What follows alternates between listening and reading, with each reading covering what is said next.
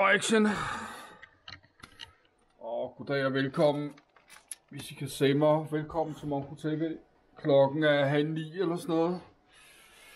Jeg har glemt mit saftevand. Det var meningen, at tage et glas, glas saftevand ind. Jeg har ikke noget cola. Så vil jeg lige lave en video på et par, nu, par minutter, der hedder uh, øh, god, god fredag aften og weekend. Men uh, nu tror jeg, vi laver bare så en anden video. Men selvfølgelig god fredag aften og god weekend. Og I har det godt, hvor I er nu. Uh, jeg lavede en video her i dag, der stod noget med mine uh, YouTube-penge er kommet. Og uh, det gør det også med YouTube-penge er på vej. Så tak til jer alle, som har givet og set nogle af mine videoer. Uh, jeg fik nævnt uh, YouTuber Spørg Kasper og ham der Gex på min, uh, på min uh, video. Og uh, jeg kan selvfølgelig godt, jeg kan godt lide de store danske YouTubere. Jeg har selvfølgelig en mening om øh, de YouTubere, som alle mulige andre har. Men det er fordi, jeg er blevet en kendt YouTuber nu. Jeg kan ikke bare sidde her på video og fortælle øh, helt ærligt, hvad jeg synes om mange af de danske YouTubere. Fordi jeg har ikke lyst til at blive rodet ind i alt det der drama. Øh, jeg nævnte noget om en øh, hiphop en dislike hiphop video, der blev med lavet mod en øh, kendt en, der hedder, hvad hedder Boris Laversen. Han er en ung mand, der storebror til Phil Lausen, Der blev lavet en grim dislike video imod ham. Altså sne bryder jeg mig ikke om, fordi det er så at sende sneen ud til flere hundredtusind mennesker.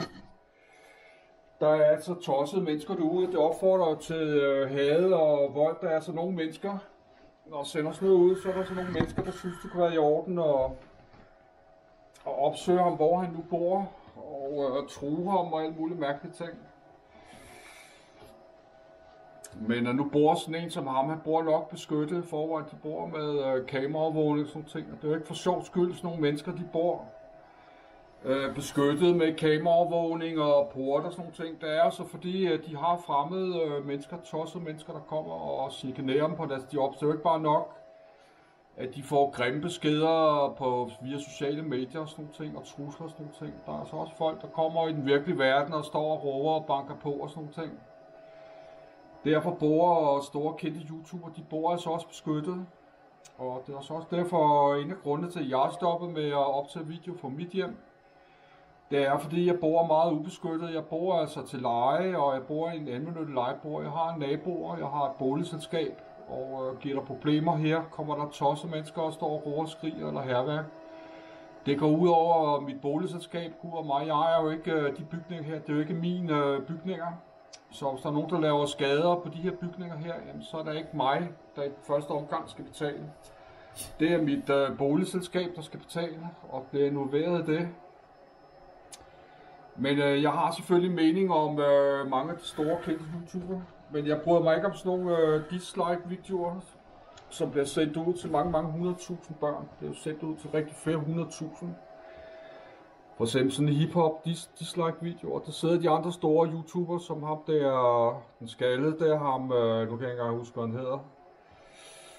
Jeg hedder Johnny Gade, ham den skaldede der med skægget han sidder og laver reaktionsvideoer på. Han er ikke den eneste. Der er jo andre, der laver de der reaktionsvideoer. Øh, øh, Jack Style og Markus HD, de lever jo at stjæle andres øh, YouTubers videoer og sende det ud, som, som de kalder dem så bare reaktionsvideoer.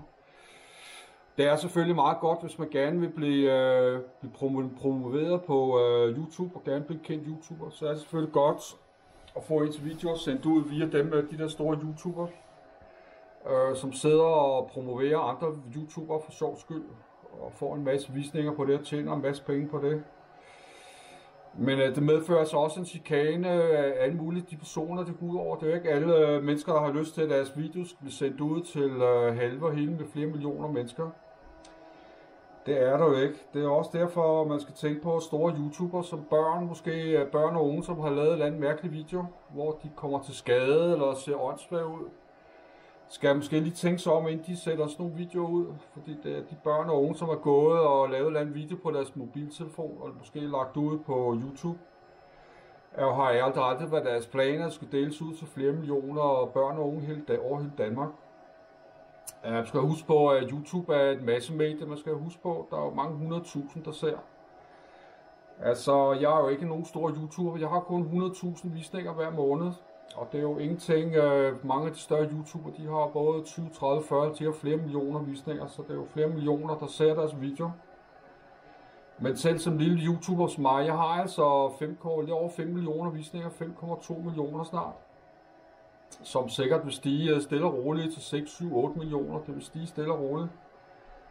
Og øh, det har jo altid været min mening, at, at mit lille hjem her skal vises til øh, 10, 20, 30, 40 millioner øh, fremmede mennesker ud over hele verden. Det har jo ikke været meningen, fordi jeg bor meget ubeskyttet, så det har jo været noget andet noget, hvis jeg har boet sådan lidt øh, rockerborgsagtigt, hvis jeg havde haft en øh, privat øh, hus med have, hvor jeg kunne have en stor port med øh, hegn op, pigtråd og øh, kamera og øh, lyssensor, sensor og sådan noget og have en stor, to store grimme schæferhuf eller rottweiler, der render rundt ude i haven om natten der, så folk har ikke så meget lyst til at springe ind og banke på vinduer. Hvis de kan høre to rottweiler gør rende rundt ude i haven, så er der ikke mange, der tror, at det er måske, hvis de har fået lidt for meget drik. Men altså, som jeg har sagt på den anden video, det gør man altså kun én gang. Man springer kun ind i en rockerborg øh, en gang, tror jeg, hvor der er et par klubske hunde, der render rundt der, fordi det kommer man altså til skade af, så det er jo heller ikke meningen, at man skal hoppe ind på folks øh, private grund. Der står altså, at folk har jo ret til at være øh, private deres hjem, så hvis folk har en øh, privat grund, hvor der står et skilt, øh, øh, privat område, adgang forbudt, og øh, der er en låst port, og så er der altså nogle unge mænd, der lige vil kravle over der, og der er en øh, stor øh, grim rottweilerhund, og de bliver bidt rigtig grimt, jamen så er det jo altså for folks eget ansvar. Det er der jo. Men øh, jeg tænkte mig at lave en video. Den video her skulle hedde, jeg kan godt lide de store danske YouTuber. Jeg kan, der er altså rigtig mange dygtige, øh, ikke for at name drop. Jeg kan også godt lide øh, spørge Kasper. Jeg kan godt lide YouTube Kasper, han laver, men jeg ved godt, at det han laver på sådan spørge Kasper kanal, YouTube kanal, det er en rolle han spiller. Han spiller sådan tosset, øh, en lidt evnesvag person der, som er lidt retarderet, som også er på førtidspension. Han spiller sådan lidt, så jeg tror, at Kasper har fået lidt inspiration for mig om mit liv. Øh, hvordan mit mærkelige liv er også. Men øh, han har også selvfølgelig en anden øh, øh, YouTube-kanal, der hedder Kasper og et eller andet der. Jeg kan ikke huske, hvad han hedder til efternavn. Hvor han også er normal, så jeg har, øh, jeg kan godt lide YouTube og Kasper. Han laver rigtig god video. Men øh, jeg vil ikke få noget ud af, at en YouTuber som spørger Kasper begynder at skulle lave en video med mig øh, til spørg Kasper, hvor jeg bliver udstillet helt godnat, hvor jeg skal hoppe og springe rundt om og se helt åndssvagt ud og øh, være fuld eller æde eller andet ulækkert mad. Det vil folk, jeg har ikke lyst til at blive vist på den måde til øh, flere millioner eller mange, mange hundredtusind. Så jeg har problemer nok øh, mit liv. Jeg har ikke lyst til at blive hængt ud som øh, et eller andet øh, mærkelig organal. Det kan godt være, at jeg er en organal, men øh, jeg har så mere lyst til at sidde og spise måske sammen med nogen og lave noget andet noget, og lave det på video, lave noget andet noget. Men det er så også derfor, jeg ikke har deltaget øh, på mange af de andre kendte YouTubere. Fordi jeg er blevet kendt YouTuber, jeg kender jo ikke nogen af de andre YouTubere. Jeg er altså også fem gammel mand på 65 år. Og øh, jeg laver selvfølgelig noget andet video. Og, men mit liv er jo mega lammet nu, på grund af at min økonomi er fuldkommen ødelagt. Jeg har ikke den anden den mulighed, som de andre unge YouTubere har. Jeg har ikke øh, kørekort og bil, jeg har ikke en masse penge, jeg kan ikke tage på hotel, jeg kan ikke rejse.